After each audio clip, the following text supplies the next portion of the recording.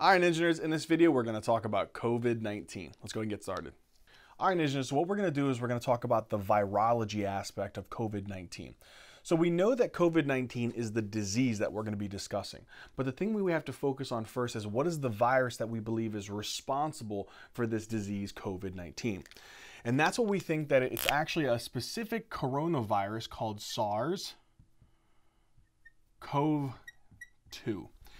And SARS-CoV-2 is actually very interesting because what we know about SARS-CoV-2 is it's a part of the coronavirus family. So there's an 80% genetic similarity between the SARS-CoV-2 virus and the coronavirus that was responsible for the SARS outbreak in 2002-2003, as well as the MERS outbreak that occurred in 2012. And again, there's about an 80% genetic similarity between the SARS-CoV-2 virus and those viruses as well. And again, it's a coronavirus, a beta coronavirus. What we know that SARS-CoV-2 is responsible for causing is this disease that we call COVID-19. All right, so we understand the virus. We understand the disease that it causes. But what, it, what we have to really do now is to kind of look just a little bit at that viral structure. What are some significant components of the virus that is necessary for us to understand the pathophysiology? So the first thing that we have here is we have our viral structure here. There's specific protein components on the outer side of this virus. What are those proteins and what are their significance? We're going to talk about two particular ones that are we're really going to focus on. This red protein here that is expressed on the outer surface of this virus is the most important one. It's the most relevant one to the pathophysiology, and this is called the spike protein. Okay, this is called the spike protein. The next one, which is also believed to be very significant to uh, attaching and fusing and infecting the particular cells of the body, is another protein on the surface of this virus, which is called hemagglutinin esterase protein. And this guy they believe that these two proteins are the proteins on the virus that we need in order to attach to particular host cells that express this particular protein called ACE2, as well as fuse and push the virus into those cells. So again, these are two particular proteins that I want you to remember that are responsible truly for infecting these cells. What we're going to do is we're going to put little asterisks next to these guys. These are very specific. The other proteins, because we should be consistent, very thorough, and understand a little bit more, there's other proteins here. This pink one is called an M protein. And this blue one, or this baby blue one, we should be more specific, is referred to as the envelope or E protein. Now, that's the proteins on the surface. Inside, right, you have this purple structure. This purple structure is believed to be the envelope. Okay, so the purple structure is believed to be the envelope of this virus. So this is going to be the envelope, which we, which believe is to be a bilayer.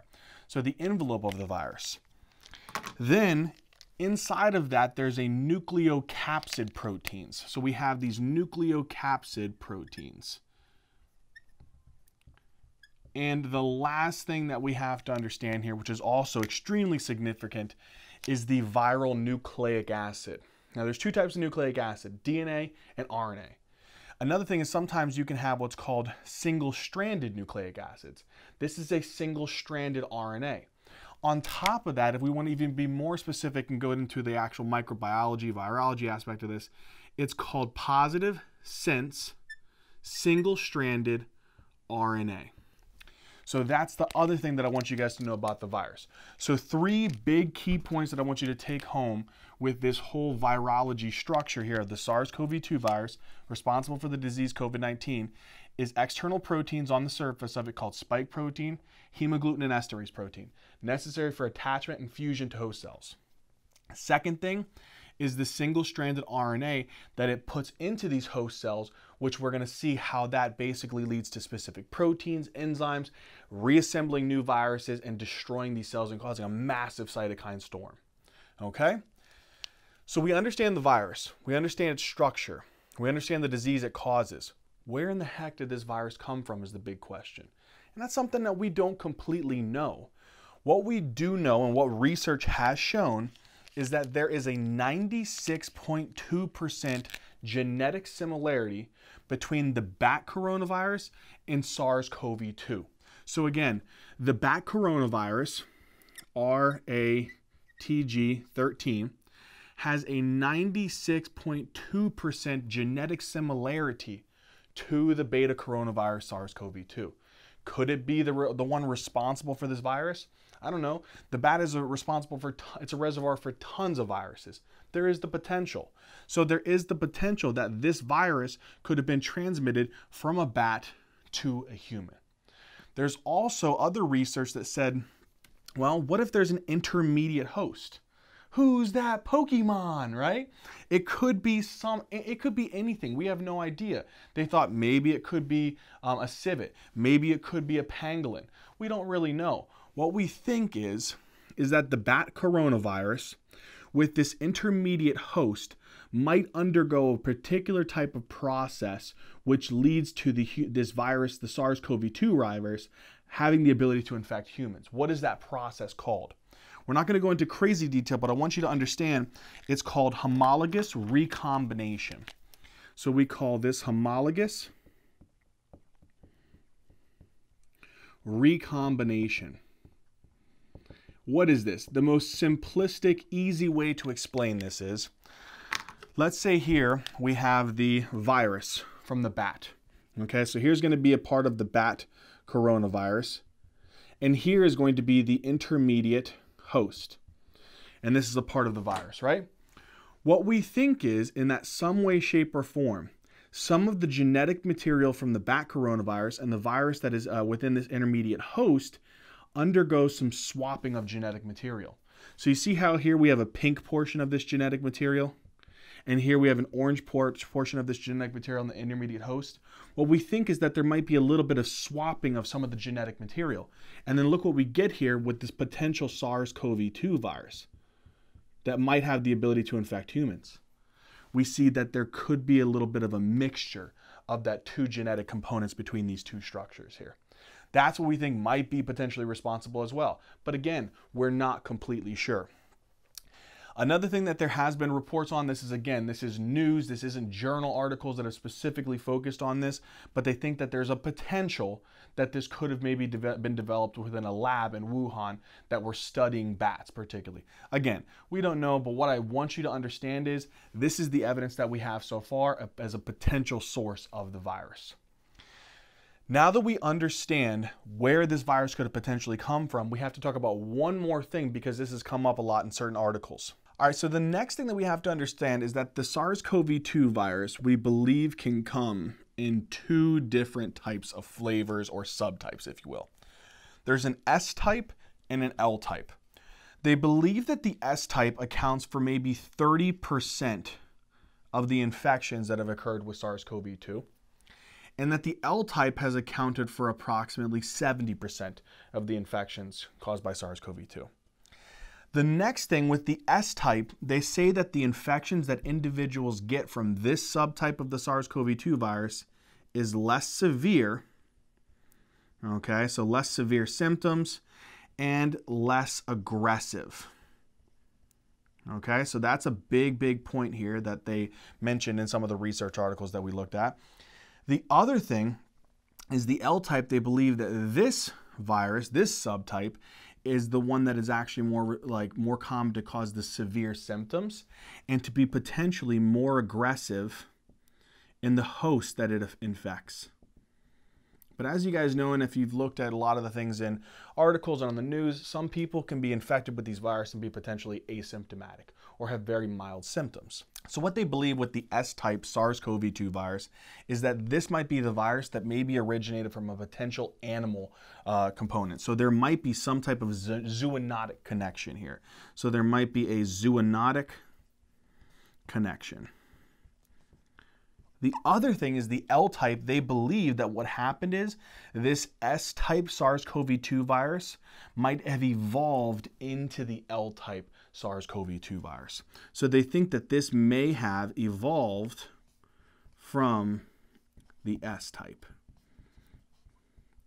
So now that what we understand from this virology aspect is SARS-CoV-2 virus is the virus that causes COVID-19. The two particular proteins on the outer surface is hemagglutinin esterase and spike protein. They allow for attachment. The RNA that gets injected in is positive sense single-stranded RNA, where we think it might have come from. It could either be a bat because of the 96.2% genetic similarity or homologous recombination via an intermediate host.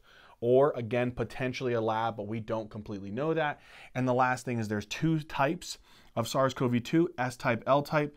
S-type is less severe, L-type more severe, more common for L-type, less common for S-type. And again, maybe a zoonotic association with the S-type, which over time may have evolved into the L-type. All right, so now we're going to do is we have to talk about the epidemiology with relation to this SARS-CoV-2 virus because it's a big deal and it's one of the big things that are talked about right now. So the data that we have here that we're going to talk about very briefly is from the John Hopkins data tracker system, okay? And again, this data is from 417, 2020, 638 Eastern Standard Time. We have data here in the top row, and that's telling us from the time that we made our last video, March 15, 2020. The number of people who uh, have been infected, the number of cases, 153,517. The fatality, the number of people who died, was 5,735. And then we can see that the case fatality rate based upon this divided by this is 3.7%. Now, and again, this is global data we can see that as of today at 638, we can see that the incidence is 2,234,109 individuals infected with a fatality of 153,379. If we take the fatality and we divide it by the incidence, will give us our case fatality rate, which is around 6.9%. If you take the denominator, right, this is a pretty large denominator. But if we say that the number of incidents is larger because there's potentially people who aren't getting tested because they're asymptomatic or they think that they might just have an upper respiratory tract infection, this incidence could potentially be a lot higher. So if we take the fatality that we have here and divide it by a larger number of incidents, potentially again, if everybody was being tested, our case fatality rate could potentially be lower. But again, this is what we have as of right now. The next thing that we want to talk about, instead of being so ominous right now, is we can see global recovery cases. So people who have been infected, the number who have recovered is 567,695 individuals. So at least we can see some type of light in this very dark time. Now, what we're going to do is we're going to look at specific countries and specific areas and looking at their number of infected cases. As we can see here from the USA, the number of infected cases or number of people who have shown up with this COVID-19 diagnosis is 699,105 individuals. If we look at Spain, we can see that they have 188,167 total cases. If we look here at Italy, they have 172,434 total cases. If we look here at France, we have 147,121 cases, and Germany is 140,886 cases. So if you look at these and compare it to the USA, the USA has the highest number of cases at this point in time right now. All right, now that we understand a little bit of these statistics, let's now talk about a very relevant point when we talk about this virus. All right, the next thing that we have to talk about with um, this virus is its rate of transmission. And the rate of transmission of this virus is dependent upon two particular factors, and we talked about this in the last video. One is the R naught, which is the reproductive ratio, and the second thing is the serial interval. Now, let's talk about this a little bit. What does all this mean? What is the, the reproductive ratio? Well, we talked about this last time. It's basically the ability of the virus in one infected individual. How many people can that infected individual pass that virus on to? And right now, the reproductive ratio is a range between two to four. In this example, we're actually going to use an R naught of three, okay, which falls right in between the two. So it's the average, the mean in this case. The other thing is this serial interval. And the serial interval is basically the time it takes from this infected individual to pass that virus and cause an infection of another individual, another patient in this case. So here's the problem with this. And we know that this virus can potentially infect individuals and they could be potentially asymptomatic, show no symptoms. So sometimes it can be very difficult to determine the serial interval for them. And the only way that we could really do that if they're asymptomatic is to test them, utilizing RT-PCR, serology, utilizing ELISA, point of care IgM, IgG that we'll talk about in a future video. But again, that's unnecessary if they're completely asymptomatic. We should save those tests for the true sick individuals and healthcare workers. So because of that, I want us to understand here that we're talking about a serial interval with respect to individuals having symptoms. So how long is it before basically this individual infects another individual? How long after till they start becoming infected and potentially showing symptoms? Well, the serial interval is an we we we found a mean in one of the articles that showed it was potentially four days. So with that being said, we know that the R naught we're going to utilize here is three. The time it takes for this one infected individual to infect three people is four days. The time it takes for these three individuals to go and infect three individuals on their own is four days. The time it takes for these nine individuals to go infect three individuals of their own takes four days. So if we take and sum this up, what do we have here? We're going to have a total of 12 days. So just less than two weeks. Okay? The other thing is how many total individuals were infected? Well, we have one plus three plus nine plus 27. That gives us a total of 40 individuals infected. So within a period of 12 days, there was 40 individuals infected. So we can see here that if this is actually pretty serious, and that's why we're seeing such a high incidence with this virus because it has a relatively smaller serial interval and a relatively higher reproductive ratio. To look here at this graph again, we're basically just again talking a little bit about R naught because it's to give you an idea of how serious and how quickly this virus can spread. Here on the y-axis, we got people who have been infected, the number of cases.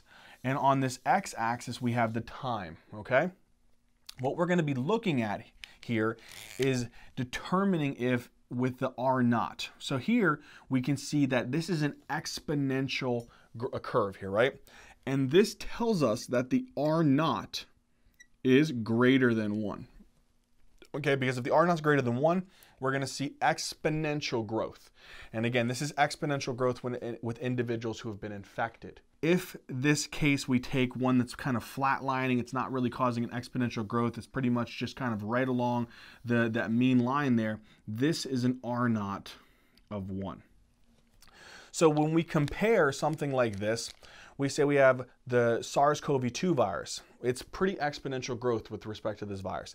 If we take something like influenza, which R naughts maybe around 1.2, 1.5, that's relatively steady. We're not seeing a true exponential growth in individuals who've been infected. In comparison to COVID-19 who have been infected with the SARS-CoV-2 virus, we see some exponential rise in individuals infected. All right, so now let's go ahead and talk about the pathophysiology of the SARS-CoV-2 virus. And again, that causes the disease COVID-19. What we need to do first is we understand the virology, the epidemiology, and again, the incubation period, which is basically the time from when the individual's been infected to when they potentially can start developing symptoms. They say that the mean is right around five days, but again, it could be anywhere from five days to potentially 14 days. Some articles even say potentially longer. What we need to know is how can this virus be transmitted? Okay. And again, a lot of the research is showing that the primary way that this is being transferred is by respiratory droplets. Okay. So one is via respiratory droplets. Now, this is basically when someone sneezes, whenever someone coughs, okay, these kinds of things.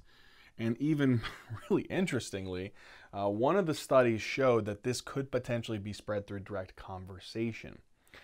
That's why they say that individuals should actually kind of maintain a distance if someone's kind of coughing or, you know, they're sneezing to try to maintain a distance of potentially greater than six feet. Another thing is that they say that this virus, there's also research that showed that this virus can potentially aerosolize okay, where it can actually kind of aerosolize within the particular environment for up to three hours.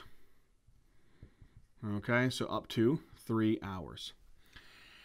Now, in addition to that, again, let's go back to this. They say that yes, it potentially could be not just respiratory droplets, not just aerosolized up to uh, three hours, but again, there's newer data that says that this virus can travel up to greater than or equal to 25 feet, right, in less than a second.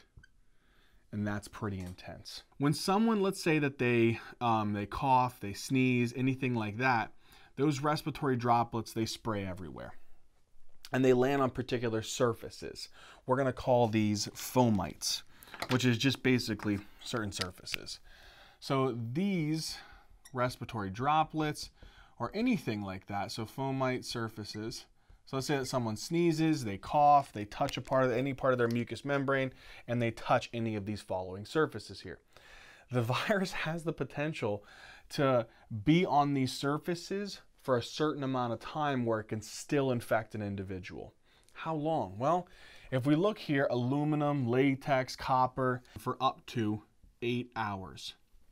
Cardboard, potentially 24 hours countertops, plastic, stainless steel, one to three days.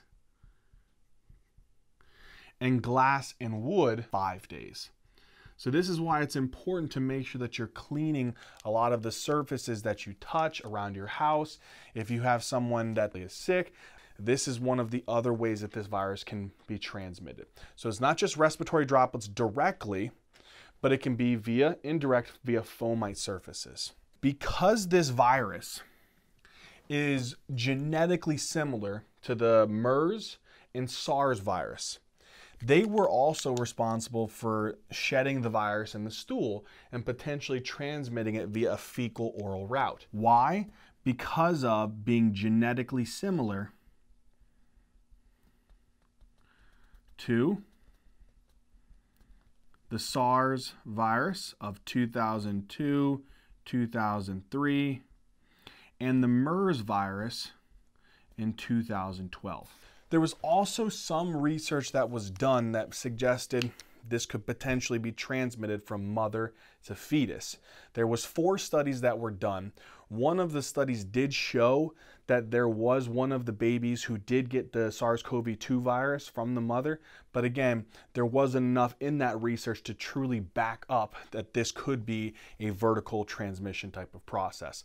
Is there potential? We need more research to really determine that. But as of right now, the main way that these viruses are spread, respiratory droplets, aerosolized, can travel pretty quick, pretty far, fomite surfaces, and potentially fecal oral route. All right, so now what we're gonna do is we're gonna talk about how this virus particularly infects cells. Now, what I want you to remember is that this virus can infect multiple different cells. Last time in the previous COVID-19 video, we talked about how it primarily affects the lungs because that's all that we really knew about it at that time. Now what we're seeing is that there's ACE2 receptors where the virus binds on multiple tissues in the body. For example, on the organs up here that we're going to talk about in a little. But we're just going to make a small little update or changes to, again, how this virus infects the actual um, lung cells and how this can produce a massive cytokine storm, as well as some of the updated symptoms and changes, okay? So here we have the SARS-CoV-2 virus, right? Here's our SARS CoV-2 virus. When this virus comes, remember it has that spike protein and that hemagglutinin esterase protein, which we said are necessary for the fusion or attachment of the virus to the host cell. What is this host cell? Well, remember in the last time we made this video, it was the type 2 pneumocytes, okay? And those are present in the lungs, okay? Once this virus binds onto a particular receptor, what did we say that receptor was the last time? ACE2, okay? It binds here. There's also another protein that they believe to be responsible for this fusion and then allowing for the virus to enter into the cell. This research has shown that there is what's called a transmembrane serine protease. Okay, so a transmembrane serine protease type 2. These are the two proteins they believe to be responsible for the attachment fusion of the virus and therefore entry into the cell. Once the virus binds here, it then gets taken into the cell via what's called an endocytosis mechanism. Now it's brought into the cell, into this vesicle. Once into this vesicle, it's then going to have to uncoat and release out of this actual viral envelope the particular nucleic acid. And this nucleic acid, as we already talked about, is a positive sense single stranded RNA. Now, this positive sense single stranded RNA, once it's released out into the cytoplasm, it then can go and bind onto ribosomes. Now, these ribosomes can be present on two places. One is they can be cytosolic, so free, or they can be bound to the rough endoplasmic reticulum. Once the ssRNA moves through the ribosome, it gets translated and makes particular proteins. Some of the proteins we have here, these are called polyproteins. And these polyproteins are the initial units that we're going to use to make spike proteins, hemagglutinin esterase proteins, M proteins, envelope proteins, and nucleocapsid proteins. What are those important for? The virus structure. On top of that, it's also going to make a very important enzyme that we need. This enzyme over here, this cute little enzyme, is called a RNA dependent RNA polymerase. And what this enzyme does, and it's very cool, it takes RNA, right? So we had the RNA, that single-stranded, that positive sense, positive sense single-stranded RNA. And what we're going to do is we're going to use this RNA dependent RNA polymerase to take this RNA and to make more RNA. And again, if you really want to be specific, what happens is is it takes the positive sense single-stranded RNA, turns it into a negative sense, and then again back into a positive sense. But the whole purpose here is that we're making more RNA. Why is that important? Because if we make more RNA, we use the host cell's ribosomes to make more polyproteins, more enzymes to make more RNA. And if we have more RNA, more polyproteins that eventually get broken down via what enzyme? Protein aces down into the initial units, which again are the spike protein, we'll put S here, the M protein, the hemagglutinin esterase protein, or the E protein in our nucleocapsid proteins, if we then have the single stranded RNA combining with these proteins and then transporting them into the Golgi where they all get packaged into a vesicle, reassembled, and now we just made a new virus. And from the Golgi, it's going to butt off, and here inside of this actual lipid bilayer, we have our virus. Then what's going to happen is this virus, like lipid bilayer, which is a part of this vesicle, will fuse with the cell membrane. And via the process of exocytosis,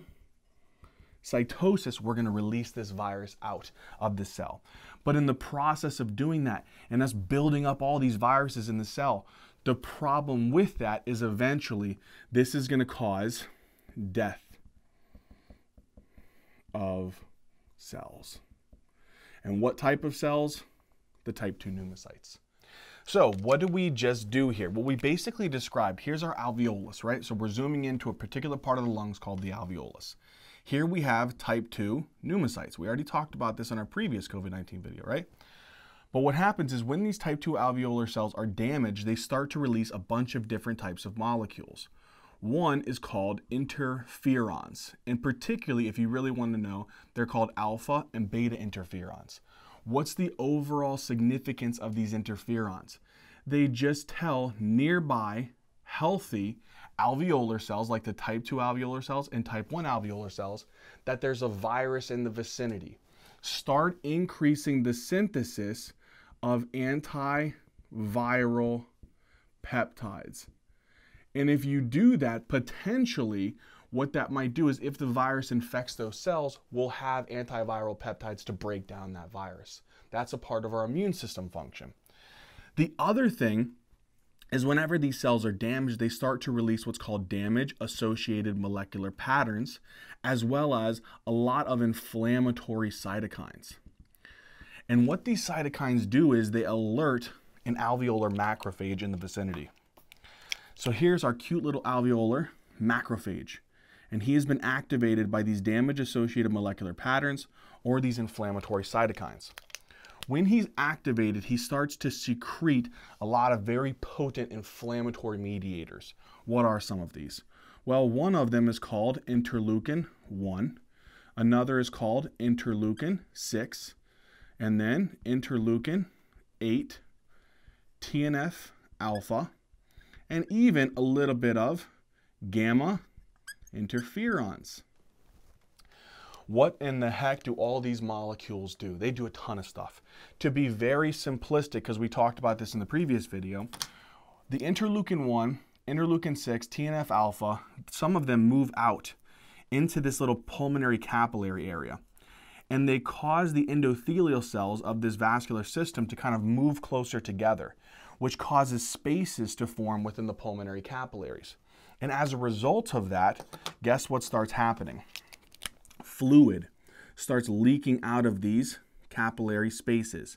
And as the fluid starts leaking out into these capillary spaces, what is that called? As fluid starts leaking in between the pulmonary capillaries and the alveolus like membrane. This is called interstitial edema. On top of that, some of the fluid from the interstitium might start moving into the alveoli, and this is called alveolar edema. Why is this a problem? It's super simple. We talked about it previously. Remember that in order for gases to move, they need a very thin respiratory membrane. We talked about that in physiology. And what respiratory gas moves? Well, remember, we have oxygen that moves from the alveolus into the blood. Well, if because this membrane is so much thicker, that means less oxygen is moving into the blood. What do we call that whenever there's less oxygen in the blood? Whenever there's less partial pressure of arterial oxygen, it's called hypoxemia. This is a potential effect that can result out of this. So one of the things that this can do is this increased PaO2, I'm sorry, this decreased PaO2 can lead to hypoxemia.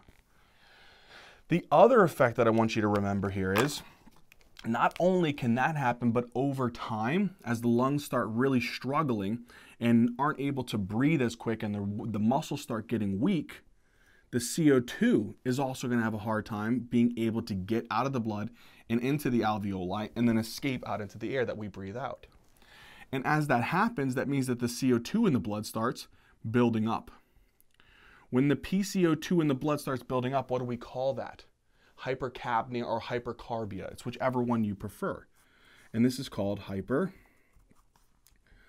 We'll just use hypercarbia. The problem with hypercarbia is that as CO2 levels build up in the blood, guess what this can do? This can lead to the conversion of carbonic acid, and that can break down into protons. What are protons? They're acid, and that can make the blood acidic and potentially progress to respiratory acidosis. So that's a concern of this is that this could lead to respiratory acidosis. Now remember, this is after the lungs have really started to like really fail and they're not able to clear that CO2.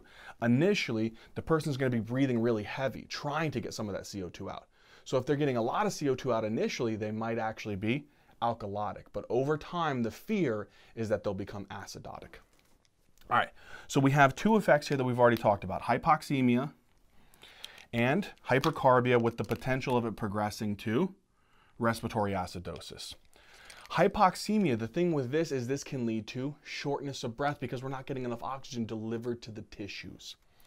Okay, the next thing, the interleukin 1, interleukin 6, all these cytokines, they also can act on the vascular endothelium and they can increase the expression of particular types of proteins. These proteins are called VCAMs. What is the whole significance of this? If we increase the expression of what's called vascular cell adhesion molecules, you know white blood cells love to move through this area. And as they're moving through this area, the only way that they can get to this area of inflammation is if they have adhesion molecules that attach to them and pull them in. Well, if we increase the expression of these VCAMs, now there's more of these molecules to bind to the white blood cells circulating through this area and pull them in to this area of inflammation that's caused by this virus. And so now from there, we pull into the area some neutrophils and we pull into the area some more macrophages, which will just perpetuate the inflammatory response. Now, the next thing that can happen here is that these inflammatory cytokines can also activate neutrophils. And here's where it starts getting a little bit nasty. These neutrophils, they are very helpful, but also at the same time, they don't always cause the best response that we want. What do I mean? Whenever the neutrophils are activated, particularly by interleukin 8, they start secreting particular types of molecules, like reactive oxygen species, as well as proteases. And the problem with these molecules is that they're trying to destroy whatever thing is causing the inflammation, but unfortunately, they also damage the surrounding parenchymal tissue. And because of that, they're going to damage the type 2 alveolar cells even more and damage the type 1 alveolar cells. Why is that a problem? Well, think about this. If I decrease the number of type 1 cells, what is that important for? Well, they play a role within gas exchange. Well, if I damage them, won't I potentially decrease my gas exchange process? Yeah. And because of that, won't that mean that I'll have less oxygen moving from the alveoli into the blood? Less CO2 moving from the blood to the alveoli? Yeah. So that could potentially lead to hypoxemia. And again, hypoxemia can potentially lead to shortness of breath. If I damage the type 2 alveolar cells, so now I have decreased type 2 cells because of this reactive oxygen species or the virus itself. They play a role with surfactant. So now I decrease surfactant production because they're damaged. If I decrease surfactant, what does that do? That increases surface tension.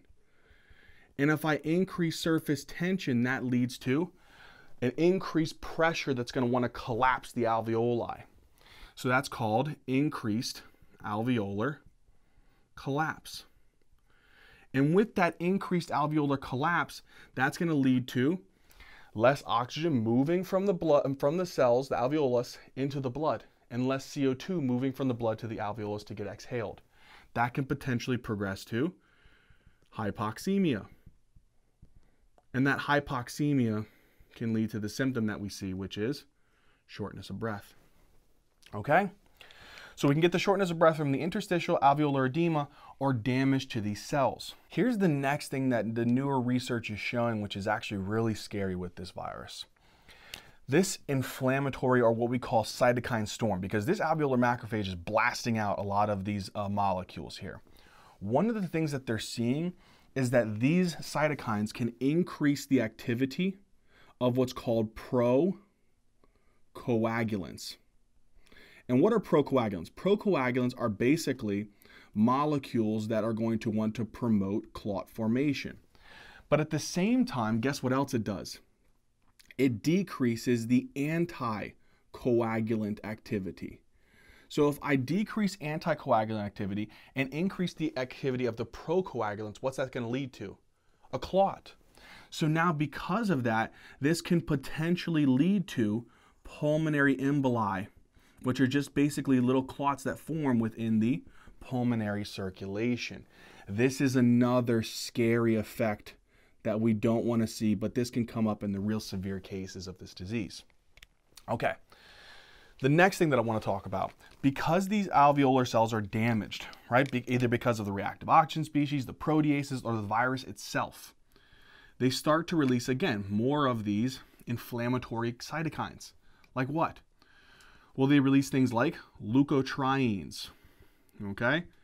They release things like prostaglandins and other different types of molecules, maybe bradykinins, things like that. What do these inflammatory cytokines do? I'm glad you asked, guys. What they do is they can activate particular receptors that are connected to the vagus nerve. Here's your cranial nerve, 10. These receptors pick up inflammatory stimuli, noxious stimuli, send that information to the central nervous system, and our central nervous system generates what's called a cough reflex to potentially move whatever thing is causing that inflammation. So this will generate a cough reflex. And the thing with this cough reflex is that we find that it's most of the time a dry cough, and sometimes, in about 33% of the situations, it can be a productive cough. But again, more commonly, it's going to be a dry cough. In addition, these leukotrienes also act on the bronchial smooth muscle. And when they act on the bronchial smooth muscle, they induce what's called bronchoconstriction.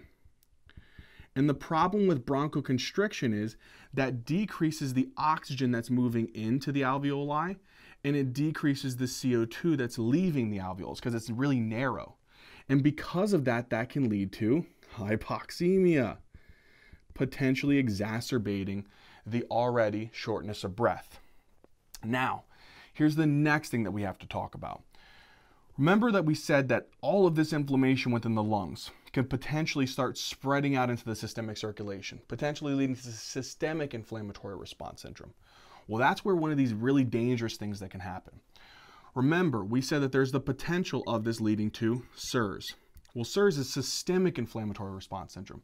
What if those cytokines increase the procoagulant activity within the systemic circulation?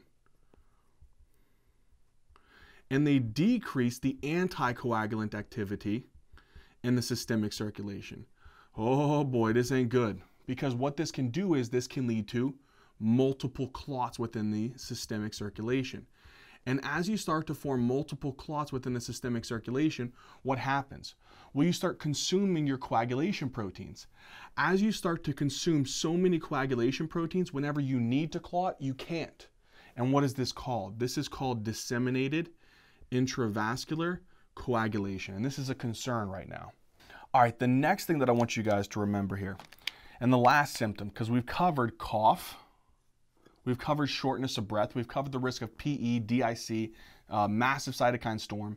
But again, that interleukin 1 and that TNF alpha can also move through the circulation and act on the central nervous system particularly the hypothalamus, and increase what's called prostaglandin E2 production. And that basically can lead to increasing our body's thermostat temperature, right? And that can potentially lead to a fever, which is another symptom that we have to be wary of, right? So hypoxemia, cough, fever, right? These are things that we have to worry about. And hypoxemia particularly is shortness of breath. All right. Now, how can this virus affect other cells directly or indirectly via multi-system organ failure? Well, first thing that we're starting to see is that some people can potentially present with very mild symptoms or asymptomatic. We think that the virus might have the ability to infect the olfactory cells and the gustatory cells. What does that mean? If I decrease the olfactory cells, I potentially decrease smell. And if I decrease smell, that could potentially be a symptom, hypoanosmia or anosmia. If I damage the taste receptors, I might lead to decreased gustation or decreased taste. In addition to that, they're also seeing that some individuals, it might actually infect the mucosa of the pharynx, leading to pharyngitis, which is basically sore throat. Now, we already seen what it could do to the lungs. It can infect the lungs, potentially inducing a viral pneumonia. That viral pneumonia could potentially become acute respiratory distress syndrome. That acute respiratory distress syndrome that can develop here can over time potentially progress to systemic inflammatory response syndrome. And that systemic inflammatory response syndrome can potentially progress to multi-system organ failure. And to add on this other symptom that we're also concerned about, or this other condition, is you also have to worry about the potential of pulmonary embolisms now. Okay, pulmonary embolism. The next thing is we know that this virus can also potentially damage the cardiac tissue directly or via the multi-system organ failure route. And because of that, that can lead to decreased cardiac function. And this decreased cardiac function might lead to a specific type of condition called cardiomyopathy. Okay? The other thing that we're thinking is that this virus can also infect the GI tract, potentially altering the ability for absorption, secretion, and motility. And because of that, that might lead to abdominal pain. In addition to the abdominal pain, this might also lead to nausea, vomiting, and maybe even diarrhea. In addition to that, we think that there might be also ACE2 receptors on the kidney. And if we're damaging the kidney cells, this could lead to decreased kidney function. So if we decrease the renal function, that might lead to symptoms of oliguria, which is decreased urine production, potentially maybe even anuria, no urine production. And that's scary. The last thing is we think that there might be ACE2 proteins that are present on the liver cells. And if the damage is the liver cells, this can lead to decreased liver function.